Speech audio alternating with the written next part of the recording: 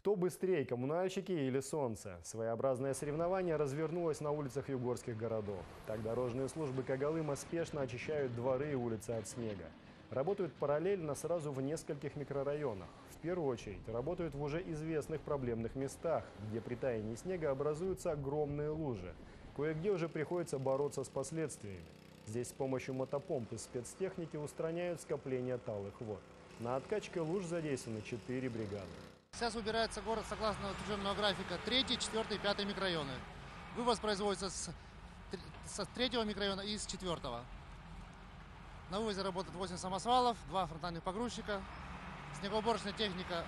Всего, в общем, получается 24 единицы на сегодняшний день работает в микрорайонах города.